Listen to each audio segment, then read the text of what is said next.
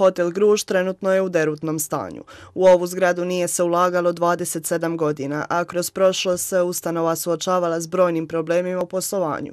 Ipak, situacija se normalizirala. Poslovanje hotela Gruž svake godine bilježi dobit e, i rastemo iz godine u godinu, tako da smo zadovoljni.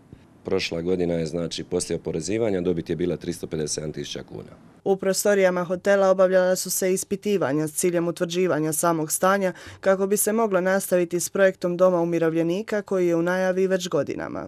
Stoga je odlučeno da će se raditi revizija projekta na način da će se e, pojačati konstrukcija s jedne strane, a s druge strane projekt koji je rađen 2000 i čini mi se četvrte godine e, će se prilagoditi današnjim standardima. Projektu i radovima se veseli i direktor hotela Gruž. Naravno da se nadamo tome renoviranju, da ne stoji mrtvi kapital, da imamo cjelokupnu jedinicu, a pogotovo da je to biti radi e, građana starije dobi. U tijeku je priprema i prilagodba dokumentacije kako bi se s ovim dugo očekivanim projektom moglo krenuti. S obzirom da je taj objekt prostorno ograničen e, s kućem, smanjiti broj kreveta, prvotno ih je bilo predviđeno 48 prvim projektom, sad će biti naravno 40, jer ipak ćemo staviti da svaka soba ima svoju e, banju, da su e, kvadrature malo veće, što će smanjiti e, sobe, ali će povećati ukupnu kvalitetu doma. Prema najavama dokumentacija bi trebala biti gotova na proljeće, a projekt bi mogao zaživjeti do kraja sljedeće godine.